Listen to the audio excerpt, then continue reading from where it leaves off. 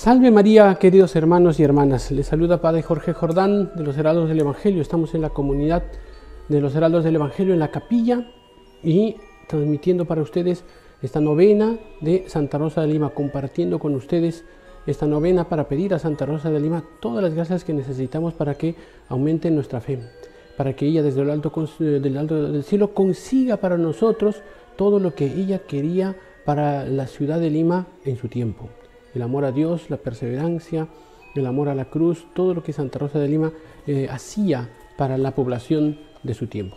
Estamos delante de la Santísima Virgen del Inmaculado Corazón de Fátima. Vamos a pedir a ella en una oración para que obtenga de nuestro Señor Jesucristo, del Espíritu Santo, luces y gracias para poder hacer bien esta meditación. Acompáñeme para la oración. En el nombre del Padre, del Hijo, del Espíritu Santo. Amén. Dios te salve María, llena eres de gracia, el Señor es contigo, bendita tú eres entre todas las mujeres y bendito es el fruto de tu vientre Jesús. Santa María, Madre de Dios, ruega por nosotros pecadores, ahora y en la hora de nuestra muerte. Amén. Queridos hermanos, Santa Rosa de Lima, eh, él tenía su corazón entregado enteramente al Señor. Y Dios lo había tomado. Nuestro Señor Jesucristo dice, nadie viene a mí si el Padre no se lo permite.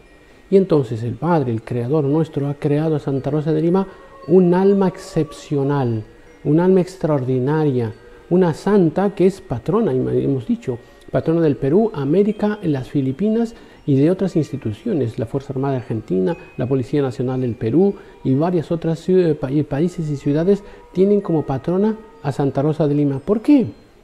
por causa de su influencia. Hemos dicho ayer que Santa Rosa de Lima era como un perfume, ese perfume la rosa que perfumaba toda la ciudad, que perfumaba y sus virtudes, sus dones, su amor a Dios ha sido de tal manera que ha influenciado ese perfume a toda América Latina. La mentalidad de Santa Rosa de Lima, la manera de ser su santidad, ha impregnado su santidad en toda América Latina. Pero ¿cuál ha sido su santidad? ¿Cómo era Santa Santa Rosa de Lima? Santa Rosa de Lima se consagró en virginidad a nuestro Señor Jesucristo. Ya desde muy pequeña ella ya estaba arrebatada del amor a Dios. Ya quería entregarse a Dios, quería ser misionera. Santa Rosa de Lima decía, ¿cómo yo quisiera ser varón para poder ir y predicar el Evangelio a todos los pueblos y convertir a mis hermanos a la, verdadera religión y bautizarlos? Entonces el deseo misionero, como lo tenía también Santa Teresita del Niño Jesús, o sea, un deseo cargado de potencia, tenía Santa Rosa de Lima, un deseo cargado de potencia. Ese deseo cargado de potencia Dios la admiró, Dios admiró y por causa de eso Dios tenía que cuidar esa alma. ¿Y cómo? El Señor Jesús visitaba Santa Rosa de Lima frecuentemente. Ella construyó con su, la ayuda de su hermano una gruta, una pequeña gruta donde ella entraba en oración y, y ahí dentro de su gruta rezaba el ángelus al mediodía, ella participaba de la Santa Misa ahí dentro de esa gruta y ella se comunicaba con la iglesia y tenía donde ubicuidad, tenía, estaba en dos lugares al mismo tiempo. Estaba en la gruta rezando, no salía, pero al mismo tiempo estaba asistiendo a la Santa Misa en el monasterio del convento de Santo Domingo, porque ella tenía muy cerca la iglesia de Santo Domingo y le gustaba muchísimo ir a rezar a Nuestra Señora del Rosario, allí en ese convento de Santo Domingo. Entonces ella quería entregarse a Dios enteramente y no se sabía si Santa Rosa de Lima estaba teniendo ese deseo de ser religiosa. Había en Lima el convento de las Clarisas y el convento de la Encarnación. Y ella quería entrar en el monasterio para ser religiosa de clausura. Entonces se fue a la iglesia de Santo Domingo para pedir a la Virgen María, que ya la conocía y habla con ella, y que le dijera qué instituto ella va a entrar, porque quería ser religiosa. Y se arrodilló pidiendo a la Virgen María. Estaba su hermano acompañado. Y rezando arrodillada, la Santísima Virgen María no le dejó marchar. Quedó arrodillada y ella interpretó que la Virgen María no quería que se vaya al convento. Y cuando ella dijo, pero señora, ¿me quedarás entonces en, en casa? Y ahí con el hermano, ayudado por el hermano, se incorporó. Interpretó Santa Rosa de Lima que quería que ella esté en la casa sirviendo al Señor desde ser laica. Y el Señor, el niño Dios, el niño Dios hablaba con Santa Rosa de Lima y ella fue que le dice, Rosa de mi corazón, sé mi esposa. El esposorio místico ya se dio cuando Santa Rosa de Lima ya estaba suficientemente preparada de la gracia para tener ese vínculo, ese matrimonio místico con nuestro Señor Jesucristo. Entonces, la pureza, la virginidad de Santa Rosa de Lima dio en fruto de ese desposorio místico con nuestro Señor Jesucristo.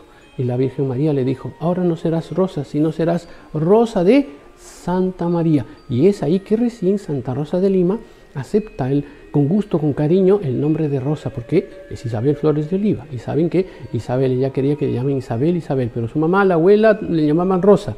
Y estaba así un poco, pero cuando Dios, el niño Dios, la Virgen Santísima le dicen, Rosa de mi corazón, ahora no serás Rosa, sino Rosa de Santa María, ella estaba, pero en el auge del entusiasmo, en el auge de la alegría, en el auge del bien. ¿Por qué? Porque había conseguido lo que más deseaba, unirse a nuestro Señor Jesucristo en deseo, en voluntad, en amor. Y esa virtud de Santa Rosa de Lima la tenía que expresar en ayuda al prójimo.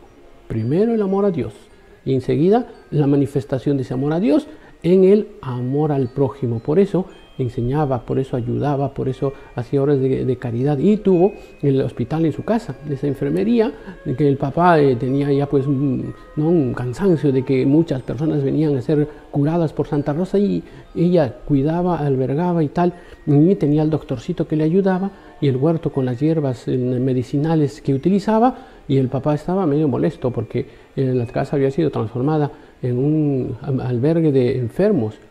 Pues Santa Rosa de Lima perseveró en, la gracia, perseveró en la fe y conquistó del papá la gracia de que ella cuidase a los enfermos.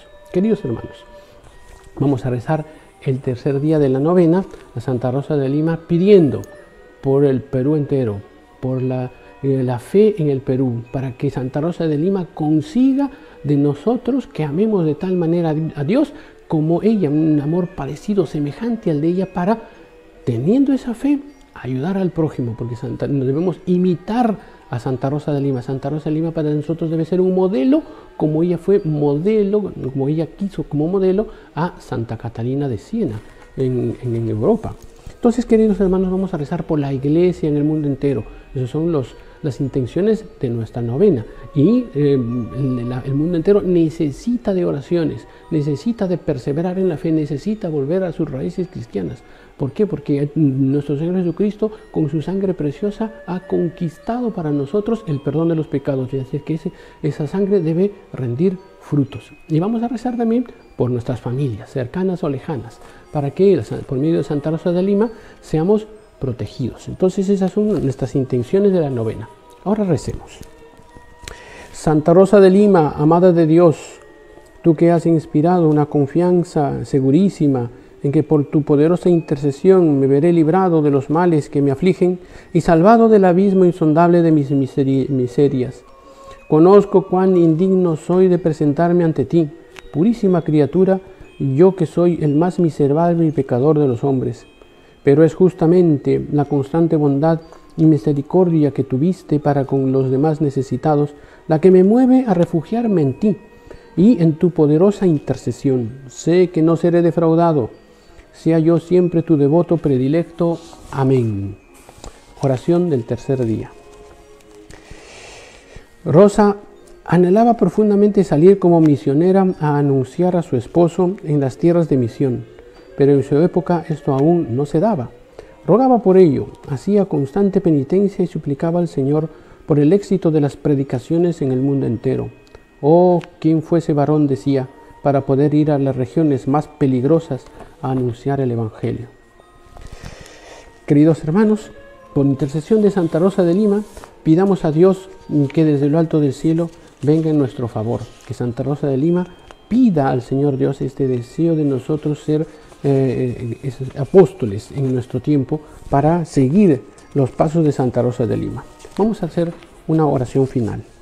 Gloriosísima patrona y abogada nuestra Rosa de Santa María, purísima flor de santidad e inocencia, esposa amabilísima de Jesús, por aquel incendio de divino amor que abrazó tu corazón, para con tu soberano esposo, y por el celo ardientísimo por la salvación de las almas, y por el amor a tu pueblo y a tu patria. Te pido humildemente nos concedas abundantes bendiciones y la manera especial la gracia que te hemos pedido, para mayor gloria y el bien de nuestras almas. Amén. Queridos hermanos, vamos a dar la bendición a todos ustedes y les recomiendo que tengan una devoción ardientísima a Santa Rosa de Lima que tiene mucho poder delante de Dios. Ella es dominica, terciaria dominica, y por ser dominica le gustaba la prédica, la lógica y la, la doctrina. Después tiene sus escritos que en otro momento podamos comentar. Ahora vamos a despedirnos, no sin antes rezar un Ave María delante de la Virgen para después dar la bendición. En el nombre del Padre, del Hijo, del Espíritu Santo. Amén. Dios te salve María, llena eres de gracia, el Señor es contigo, bendita tú eres entre todas las mujeres y bendito es el fruto de tu vientre Jesús. Santa María, Madre de Dios, ruega por nosotros pecadores, ahora y en la hora de nuestra muerte. Amén. El Señor esté con ustedes y con tu espíritu, y la bendición de Dios Todopoderoso, Padre, Hijo y Espíritu Santo, descienda sobre ustedes y permanezca para siempre. Amén. Salve María